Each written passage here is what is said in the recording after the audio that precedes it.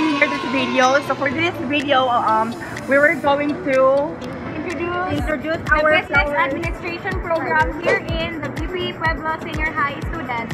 Okay, um, sunod. So tara, maglibot-libot muna. Sana all. Sana all maglabas-labas.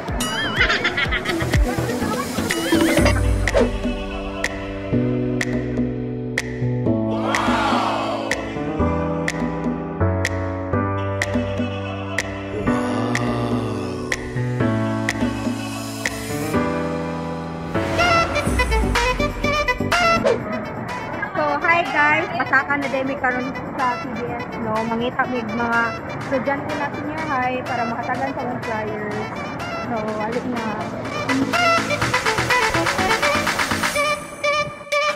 So, ayan guys, we are here at third floor na, no? Fourth floor, Ah, fourth yes. floor. So, ayan. So, we were going to interview some students why they have to choose um, business administration at the same time. There are some courses offered here in um, uh, business ad. Oh, hi guys, nami karon sa Saint Teresa of Avila nga nga classroom medyo hangak gyud ani mo. Yes, actually, um, Mm, so, so hometown before amo ning siyang section sa una katong grade 12 kami. So, guys, manulod ta tara. So ayan, um, we are here at St. Teresa. So we were going to um, give flyers for uh, to, to, to introduce them the business administration program. So makatag pa sila kung usang mga ipang offer ng mga mga courses sa business administration. So sa atong flyers, uh, naka-include no kung nga level ang uh, usang nga level ang BOP or business administration. Where in fact, the business administration 3 of the PASCO accreditation. At the same time, um, uh, business administration offering marketing management, financial management, operational management, hospitality management, um, human resource management. At the same time,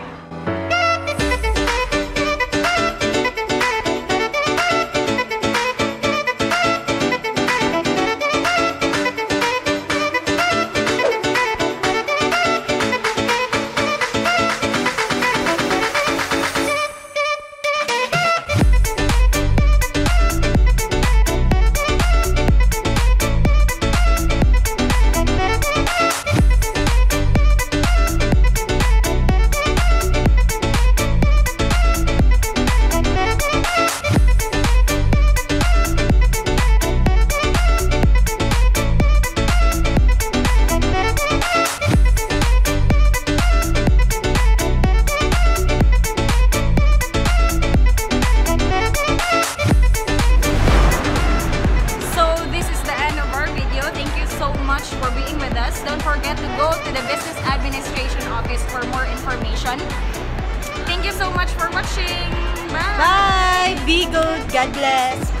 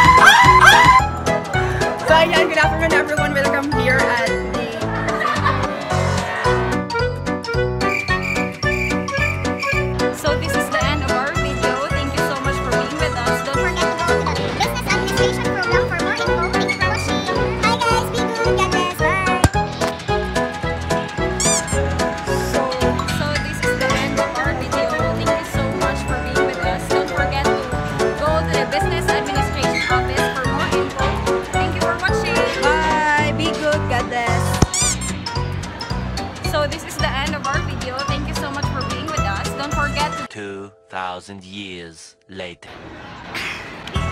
Be good. God bless. Bye. Thank you.